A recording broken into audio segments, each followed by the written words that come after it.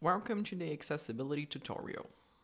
The concept of accessibility came to the fore in the 1950s after the legitimation of gravity theory by Isard at the first regional science meeting in Detroit in 1954. The founding fathers of the accessibility concepts were first Hansen, who defined accessibility as the potential of opportunity for interaction, and second, Weibull, who considered accessibility as a property of configuration of opportunities for spatial interaction. It should be noted that Litman highlights the following definitions accessibility as a general concept used to describe the degree to which a product, device, service, or environment is accessible by as many people as possible. Access refers to connections to adjacent properties. Along these lines, accessibility can be viewed, in general, as the ability to access and the possible benefit to some system or entity. Accessibility is the number of jobs of key functions area reachable within 20 minutes using different public transportation methods. The purpose of conducting accessibility analysis is because by the result we can understand the uneven distribution of key functions and transportation nodes, so that where the weaker parts in terms of not easy accessible area in the city could be spotted out. In IMM, the synergic integration of CAS components that follows the order defined by the table shows how elements come to self-organize or to synchronize their states into forming a new specific level of organization. These types of emergence as product of the synergies between basic components ordered as follow make emerging a specific property, pattern, named accessibility as something new that can't be described by the description of the parts. The question is whether the accessibility can be related to the identification of resilience fragility in connectivity network structures. Current policy strategies with focus on resilience show the relevance of the links between complex transport networks, accessibility, and resilience, mostly by exploring this relationship at different scale levels and its impact on the whole network. The purpose of conducting accessibility analysis is because by their result we can understand the uneven distribution of key functions and transportation nodes, so that where the weaker parts in terms of not easy accessible area in the city could be spotted out. The investigation process consists as follows. Determine accessibility in terms of the ability to access and to reach key functions in a certain time. Define a calculation method of the accessibility in a certain context. Values number of key functions in 5 minutes walkable distance, generator value, attractor value, betweenness, network measure, intermodality value, graphical representation, accessibility spectrum diagram, input data and procedure, case study of Milano neighborhoods. By considering number of jobs of each key function and representing them in scaled circles, we can assume the numbers of travelers, commuters of each key functions are represented. So by overlapping transportation nodes with catchment area map and job density of key functions map, the uneven distributions of CAS, Complex Adaptive System, which is city, can be distinguished. Because IMM diagnoses problems of city, the city planner and those who want to improve city living condition, environment, and performance can see problems very clearly. According to TOD, Transit Oriented Development, comfortable distances to walk from and to bus tram stations 5 minutes, metro station 10 minutes. Catchment areas, bus train station 400 meters, metro station 800 meters. Following the TOD definition, we adopt a more precise way in determining comfortable distance to walk from to by defining catchment areas with isochrones. An essential tool for this type of study is the ArcGIS Network Analysis Toolbox that allows to build a network dataset and perform analysis on a network dataset. Moreover, the network analyst allows to measure accessibility in terms of travel time, distance, or any other impedance on the network, which are therefore more accurate than radial buffers for the purpose of the research. Hence, the analysis consists in the creation of pedestrian public transport isochrones as evaluation parameters of accessibility. Before running the tool, a first operation consists in the creation and discretization of the street network, only then, it is possible to select a set of common facilities as the investigation starting points, for example, public transport stops or key functions location. Finally, time parameters are calculated in minutes, named in the two service areas. Considering the characteristics of the metropolitan area of Milan, which is rather compact in its composition, the travel times considered to allow access Also, to the weaker sections of the population have been divided as follows pedestrian isochrones, metric distance evaluated with speed, pedestrian 4 km per hour, time 2.5, 5, and 7.5 minutes. Public transport isochrones, isochrones for public transport plus pedestrian, speed, bus 15 km per hour, tram 15 km per hour, metro 25 km per hour, suburban train 35 km per hour. Time 5, 10, and 15 minutes.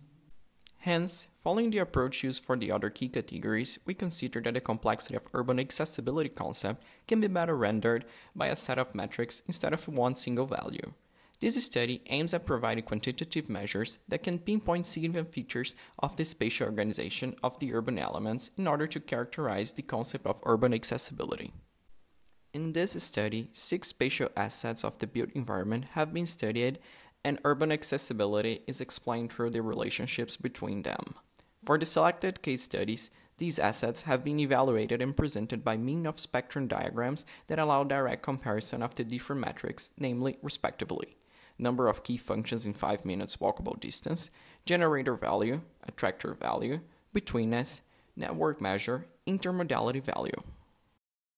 Urban accessibility is being explained through the relationships between them and presented in a hexagonal diagram in which their proportional relationships can be compared and interpreted. Number of key functions in 5 minutes walkable distance. It represents the number of activities within the catchment area of 5 minutes. Each catchment has its center in an existing transportation stop called facility. Create the selection query on the Select by Location dialog box to select features from the key functions that are completely within polygons as shown below. Generator value. It states the distribution of the population for each census section as an absolute value within the catchment area. The ISTAT Census of the Population 2011, disaggregated by census tracts, is used as a source to map the generators. Create a selection query on the Select by Location dialog box to select census tracts within the isochrones polygons. Count the residents. Attractor value. For the mapping of the attractors, the source used is the ISTAT Census of Economic Activities 2011, disaggregated by census tracts. The metric represents the distribution of employees in each census section. Create a selection query on the Select by Location dialog box to select census tracts within the isochrones polygons count employees. Betweenness. The betweenness of a node building is defined as the fraction of shortest paths between pairs of other nodes in the network that pass by node. Freeman, 1977. If more than one shortest path is found between two nodes, as is frequently the case in a rectangular grid of streets, then each of the equidistant paths is given equal weights such that the weight sums to unit. The betweenness measure can be used to estimate the potential of passerby at different buildings on the network. If the analysis is weighted by node weight attributes, demographics of a certain type in the surrounding buildings for instance, then the betweenness measure can capture the potential of passerby of that particular demographic at building. The UNA tools use a very fast algorithm for computing betweenness. Network measure. It calculates the ratio between pedestrian areas within 2.5 minutes public transport catchment areas over the total area. Operation measure public transport accessibility by computing 2.5 minutes pedestrian isochrones, use public transportation stops as facilities, then create a selection by using the Select by Location tool to select pedestrian areas. Calculates pedestrian areas and sum. Intermodal transportation is a transportation approach according to which at least two different means of transport are combined. Hence, this metric measures the number of modes of transportation found within an area over the total number of possible modes. Seven modes of transportation are recognized bike sharing, bus, tram, metro, suburban train, electric car, charger. Therefore, on the other hand, values close to 1 indicates high intermodality rate due to combination presence of many means of transport in the area. On the other hand, values close to 0 states that poor transportation choice are guaranteed. Operation Create the selection query on the Select by Location dialog box to select features from the transportation database to identify modes that are completely within Polygon's area. Finally, we represent the six indicators in an accessibility spectrum diagram, which is composed of axes that contain the measurements up to a maximum value of 100%. This diagram is clear to visualize since it can also be used comparatively between different case studies. The following slides present a case studies of accessibility investigation in Porto di Mare neighborhoods in Milan.